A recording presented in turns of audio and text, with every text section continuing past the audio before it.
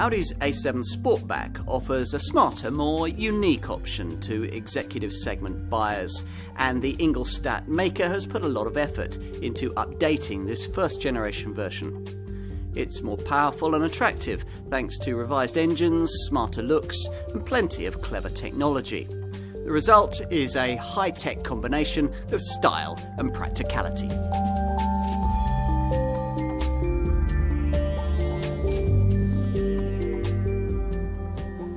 Might think that a full sized executive car, say something like an Audi A6, a BMW 5 Series, or a Mercedes E Class, was a pretty desirable thing. Buyers in this segment, though, don't always agree, which is why, in recent times, so many of them have drifted away into upmarket SUVs and crossovers. In response, over the last few years, the prestige brands have produced more dynamic and individual four and five door designs to sell alongside their standard executive models. Here's Audi's offering, a much improved version of their first generation A7 Sportback. As before, the A6 underpinnings have been further developed with some of Audi's more exclusive technology, the kind of thing you'd find in the brand's luxury segment A8 Saloon. This car, though, can be more efficient than any A8 if, like most buyers, you specify the entry-level two-wheel drive ultra diesel version capable of family hatchback style running cost figures. That'll be important for business segment buyers, but I've a suspicion that it's technology that'll really sell them this car. Much of this is optional, of course, but if you tick the right boxes for things like the high-tech matrix headlights and the advanced navigation and connectivity technology, this car really can be state-of-the-art. It'll need to be, of course, for rivals like BMW's 5 Series Gran Turismo and the Mercedes CLS class offer strong competition. Is this much improved Audi a more desirable alternative? Let's find out.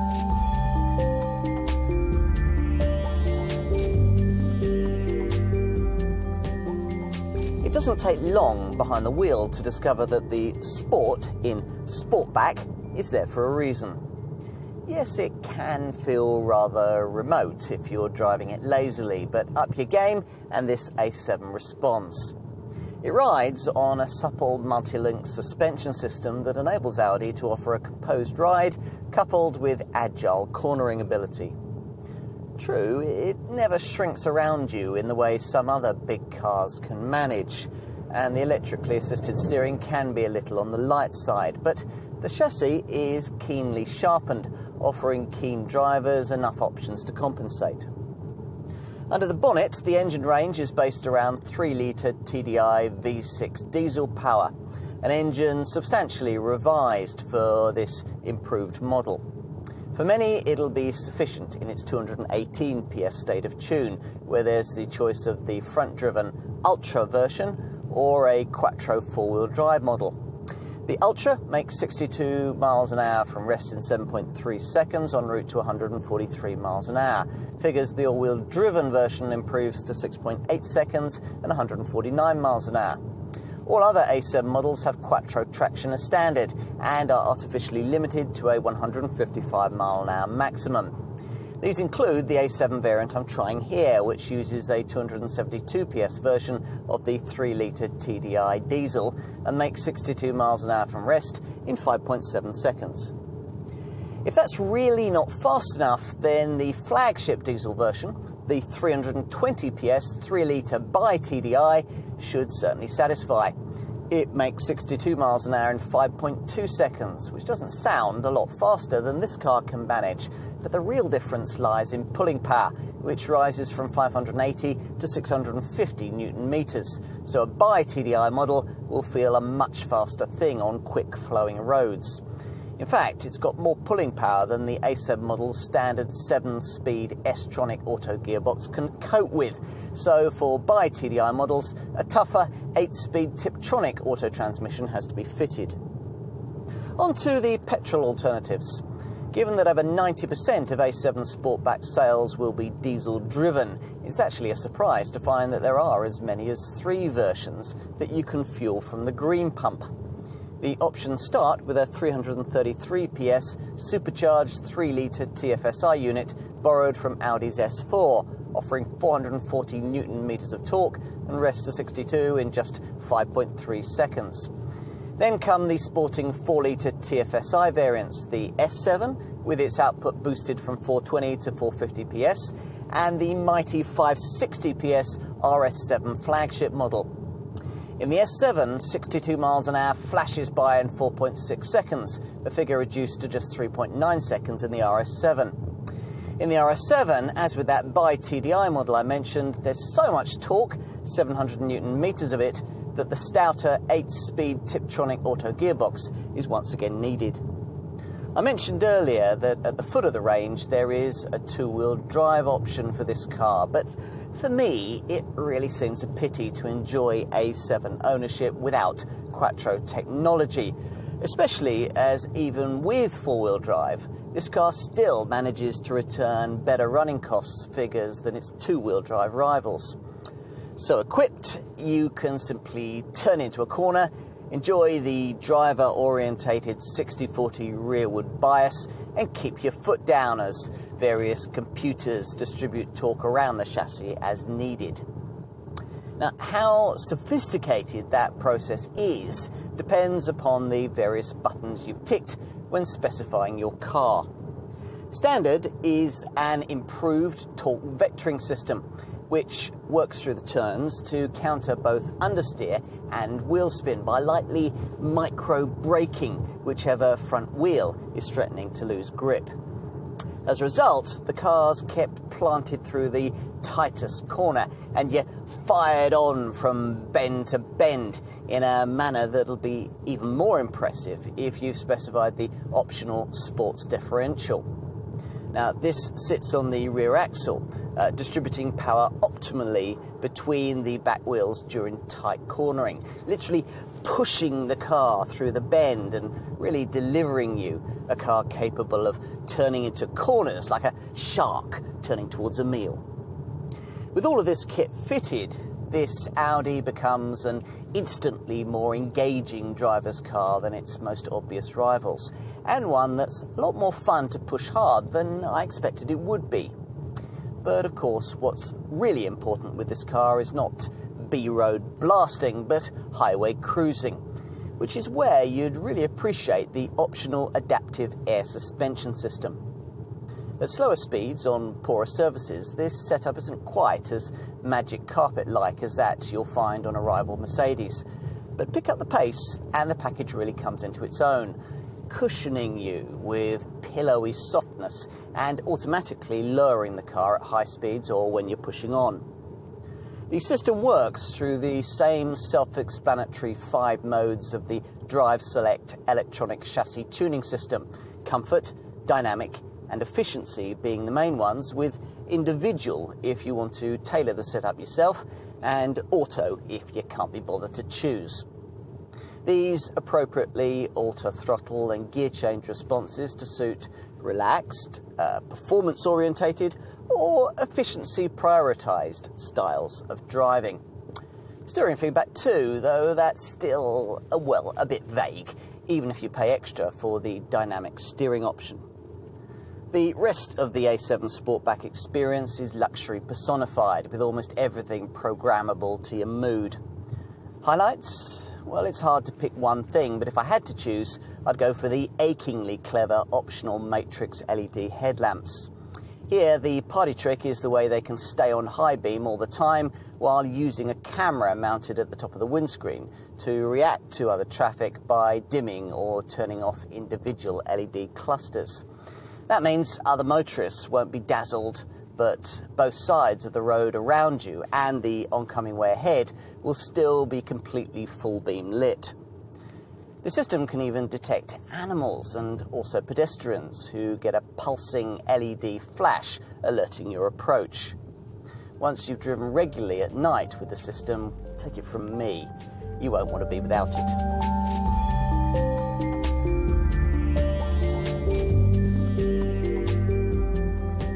This is certainly a very imposing piece of design.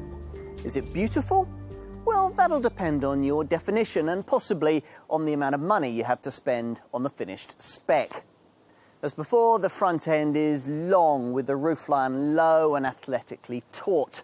And this single tornado crease line is eye-catching, starting gently by the headlight, then wrapping around the wheel arch before getting bolder and more defined as it progresses to finally meet an aggressively chiselled rear end that Audi reckons is reminiscent of a classic sports car the R8 style LED daytime running lights, the retracting headlight washers, these intricately finished door mirrors, and the wrap over aluminium bonnet are all further neat touches. The changes made to this improved first generation version are subtle ones, mainly centred around a trademark single frame front grille that now looks wider, with six crisper corners and eight chromed struts for extra emphasis. There are revised air inlets in the redesigned bumper, and the LED wedge-shaped headlights have also been restyled and can now react to almost every conceivable nighttime road condition if ordered with optional segment-leading matrix LED technology that's recognisable by its brilliant crystal shine. But as ever with an expensive Audi, it's what's underneath all this tinsel that really ought to command your attention. Over 20% of the bodywork is fashioned from aluminium, which helps to explain why this car is over 250 kilograms lighter than a rival BMW 5 Series Gran Turismo. In fact, everywhere you look on this A7, the technology keeps on coming. Take the rear section with its lovely dynamic rear indicators, high-level LED light strip and automatically extending spoiler which on the move rises at 80 miles an hour and retracts again at 50 miles an hour. The hatch opens electrically as standard to reveal a 535 litre space that's easily enough to fit a couple of golf bags in lengthwise. An optional convenience pack allows you to make better use of it, including a reversible boot mat, tie-down points, uh, a luggage net and a through-load facility for longer items like skis, now, if you need more space, then pushing forward the split folding rear seat opens up as much as 1,390 litres.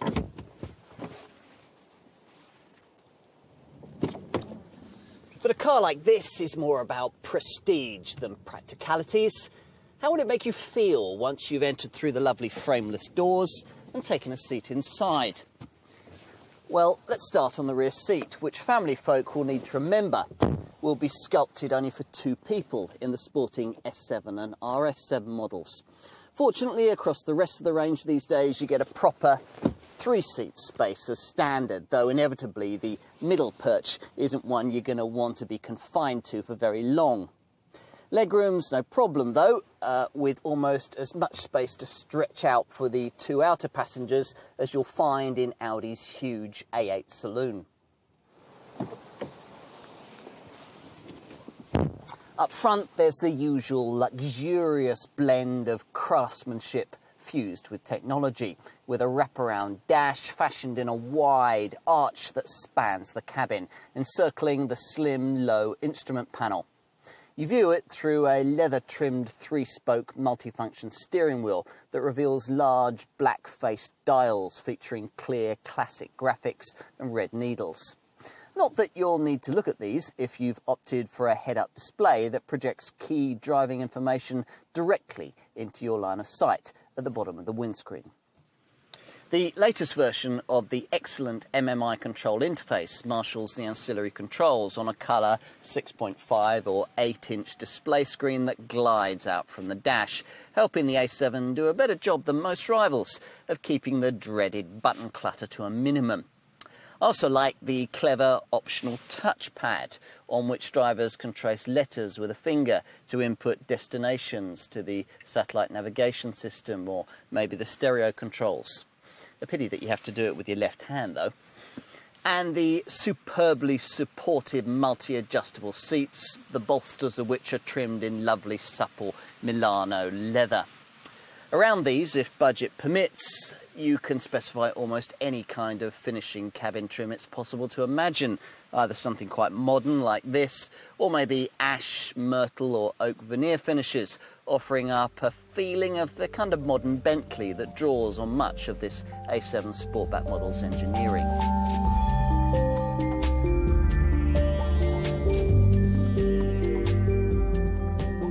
Pricing for mainstream A7 Sportback models is tightly grouped in the 45 to 60,000 pound bracket.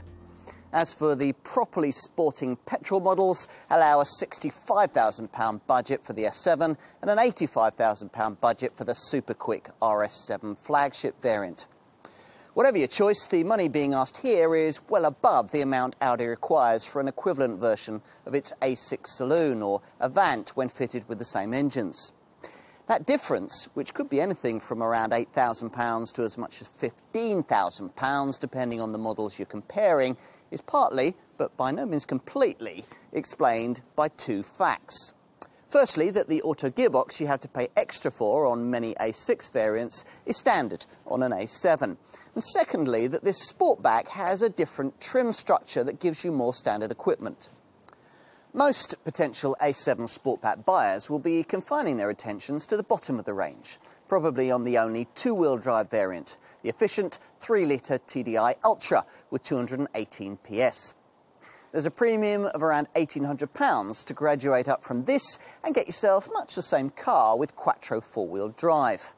And from there, you can also choose to spend a further £2,500 premium taking your expenditure to just over £50,000 and get your A7 3-litre TDI Quattro with a Pokia 272 PS output. This is the version I've been trying here. Whatever their choice of A7 variant, many buyers will want to find the extra £2,800 or so necessary to progress from standard SE executive spec to the more dynamic S-Line trim. At this level, the engine range widens to include a desirable 320 PS 3-litre bi-TDI Quattro diesel model flagship and a minority interest 3-litre TFSI turbo petrol variant. On to the value proposition. In the same way that Audi intends this A7 Sportback to be a more interesting premium alternative to an ordinary executive segment A6 Saloon or Avant, the Ingolstadt company's two closest rival brands have also done much the same thing. So, for example, if you're bored with the idea of a BMW 5 Series, the Munich maker will offer you a larger, stylised hatchback version, the 5 Series Gran Turismo. But, though more spacious than this A7, it's also uglier, less efficient and less dynamic, and the price savings slight. Audi buyers looking at top 3-litre bi-TDI S7 or RS7 A7 Sportback models would probably be more tempted by a more stylish BMW 5 Series spin-off, the 6 Series Gran Coupe Saloon. But to get that car, you'd be looking at spending around 20% more. You'll also be spending more if you want to look at the Mercedes alternative, the E-Class based CLS model, offered either in saloon or shooting brake estate form. Pitch one of these against this A7 and you'd be looking at paying somewhere between two to three thousand pounds more model for model. Audi, predictably, uh, dismisses comparisons like the ones I've just been making, contending that there isn't really anything quite like this car. There certainly isn't elsewhere in the conventional executive segment. As usual, it comes down to personal preference.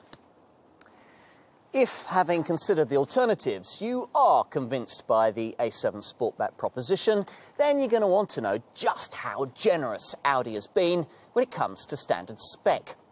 Is there really enough here to help justify that substantial price premium over an A6? Well, you be the judge.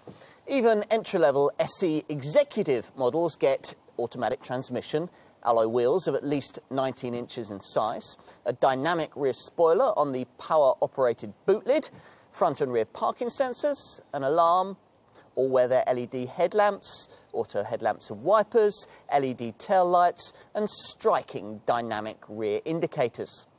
On the move, you get the Audi Drive Select system that enables you to switch the throttle, steering and gear shifting to suit the road you're on and the mood you're in. Inside, there's beautiful Milano leather trim on seats that are heated and electrically adjustable in the front. Plus, you get deluxe four zone air conditioning, a three spoke leather trimmed multifunction steering wheel with gear shift paddles, aluminium dash inlays, cruise control, an auto dimming rear view mirror, the keyless go system with its stop start button, and hill hold assist to stop you from drifting backwards on uphill junctions. Best of all, perhaps, are all the functions controllable via the electrically retractable 6.5 inch infotainment screen. From here, you can deal with Bluetooth connectivity, a 10 speaker sound system with DAB radio, and an SD card based MMI navigation system. I'd think carefully before deciding to pay the extra to upgrade to S-Line trim. Do that and you get larger 20 inch wheels, softer black Valcona full leather trim, front sports seats and lowered sport suspension that you can choose to do without if you're worried about spiralling chiropractor bills. The key S-Line trim package inclusion though can be found in the clever Matrix LED headlamps. These more powerful lights with their unique crystal-like shine are always one step ahead of you, moving with the corners and adjusting to the kind of road that you're on. And tempting options? Well, of course, there are plenty. Key features you should think about to start with include the magic carpet-like progress possible courtesy of adaptive air suspension.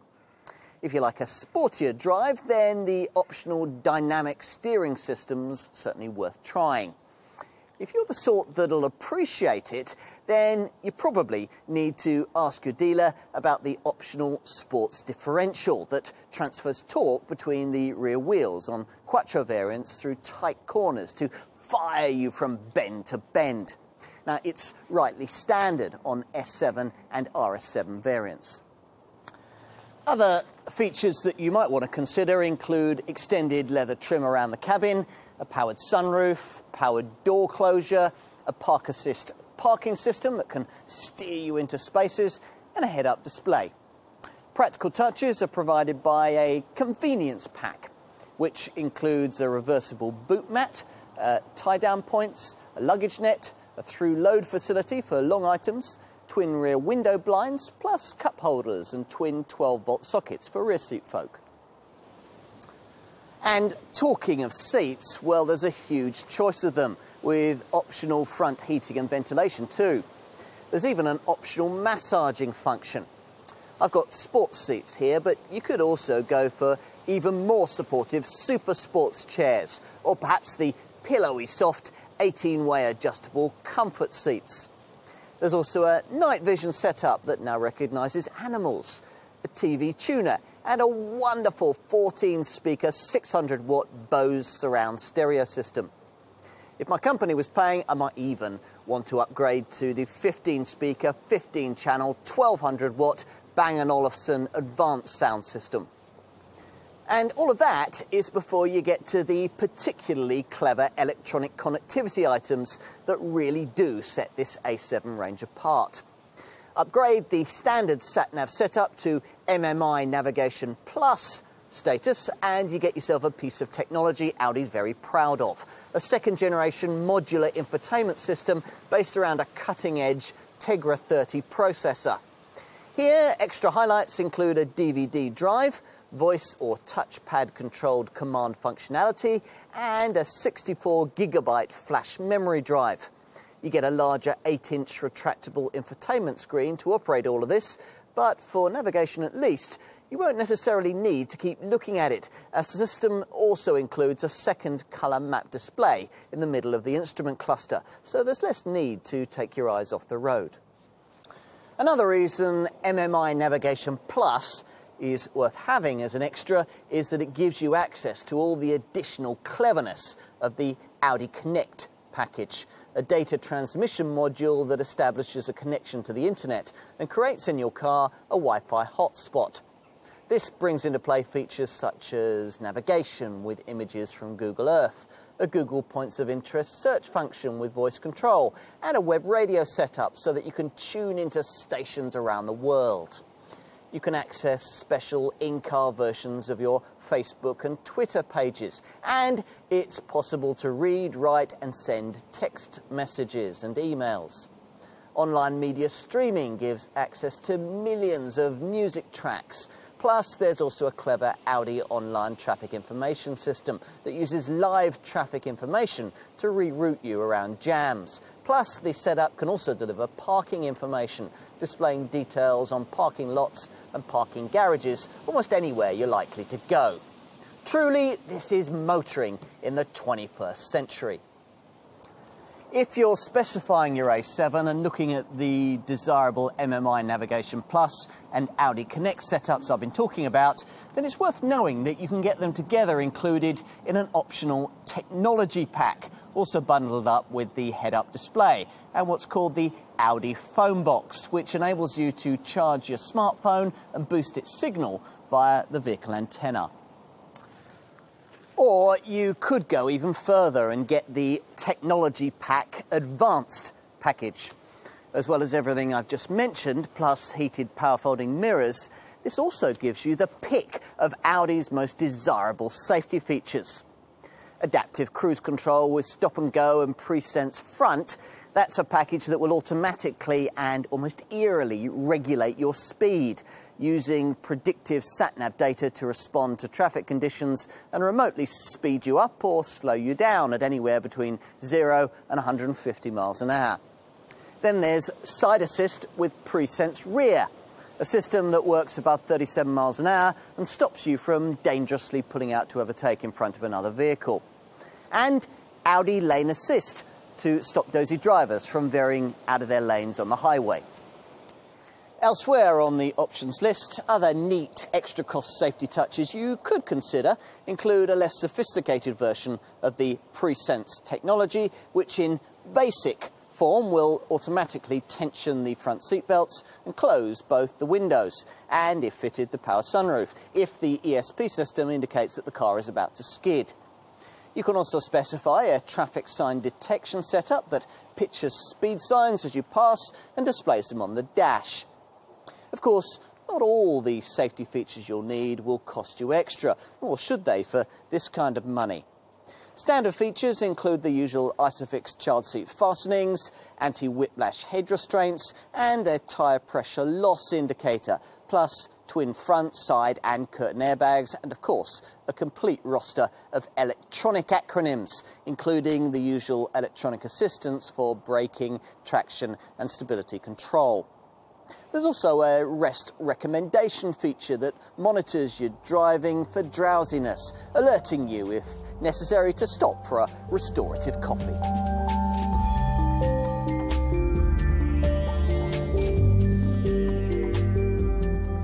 Running costs for the A7 are certainly aided by the sleek sportback shape with its low 0.28 CD aerodynamic drag factor. But a bigger contributor to the cause are the many lightweight aluminium body parts that make this car significantly less weighty than conventional steel-bodied rivals. As a result, an entry-level two-wheel drive version is over 250 kilograms, or the weight of three fully grown adults, lighter than a directly comparable rival BMW 530d Gran Turismo. That's quite a difference, and as a result, the weight-saving theme plays a major part in the class-leading running cost returns this car can offer. Go, as many potential buyers will, for the entry-level 3-litre TDI Ultra version, and you'll be getting a very efficient car indeed. SCR, or Selective Catalyst Reduction, means that the Ultra meets Euro 6 emission standards and earns so-called clean diesel status within the Audi range. More importantly, this model's figures suggest that you'll be able to achieve 60.1 miles to the gallon on the combined cycle while putting out 122 grams per kilometre of CO2.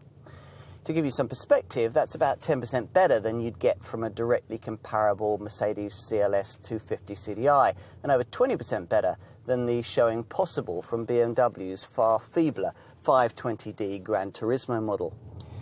What's even more impressive is that this Audi still maintains its running cost advantage over these two competitors when equipped with the four-wheel drive system that neither Mercedes or BMW offer in this segment.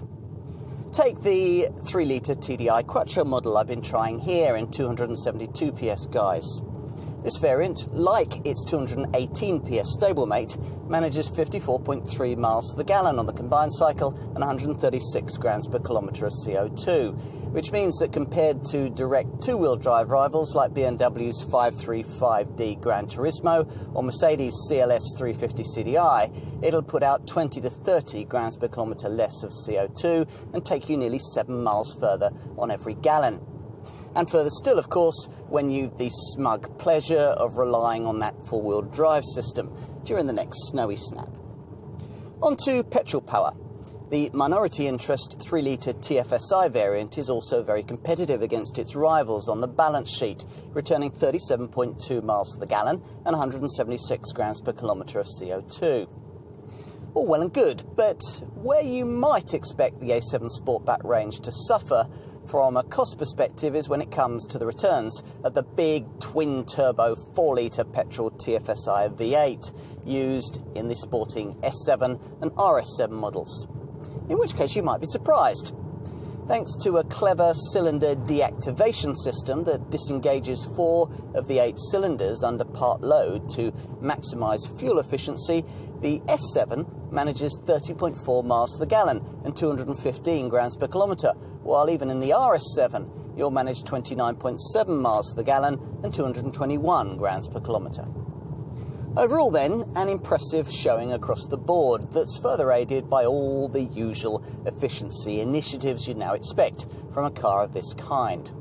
The stop start system that cuts the engine in traffic, brake energy recuperation, which recycles energy you'd otherwise lose when braking or cruising, a climate control system that can be used in a highly economic eco mode, the efficiency setting you can choose on the Drive Select Vehicle Dynamics system, a gear shift indicator, and an efficiency program you'll find on the onboard computer that gives you fuel saving tips.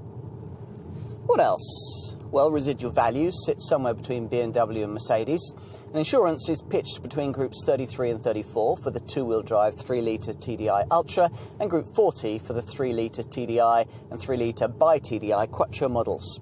When it comes to petrol variants, you're looking at Group 41 for the 3-litre TFSI, Group 43 for the S7, and Group 47 for the RS7. Further running cost assistance is provided by a fixed price servicing plan that can cover you for three years or 30,000 miles. And you can also extend the unremarkable three year 60,000 mile warranty to either four or five years at extra cost. Service intervals are decently long too, every 19,000 miles or two years.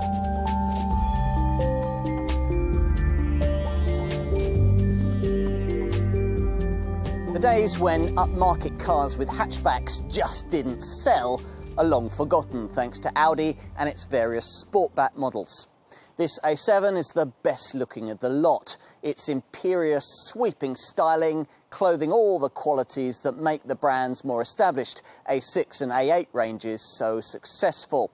Effortlessly elegant design, advanced petrol and diesel engines, and the option of quattro all-wheel drive an appealing combination for sure, but with all that said, it's still true that you've still really got to like Audis to like this car. More specifically, you've got to like A7s, for this is very much an evolution of the original first generation design rather than anything dramatically different. Not that this revised version's changes aren't significant, they had to be for this model to be able to get cleverer, more efficient, and better able to compete with its Teutonic rivals. It had to be more uh, Vorsprung durch Technik. It is. Every part of this car has been designed with a thoroughness that's deeply impressive, if sometimes rather clinical. Of course, the end result is hardly inexpensive, and you'll need to spend plenty on options to fully sharpen its driving manners. Still, if that's not an issue, then you're likely to find this A7 very desirable indeed. It is perhaps the definitive expression of how Audi wants you to perceive its brand.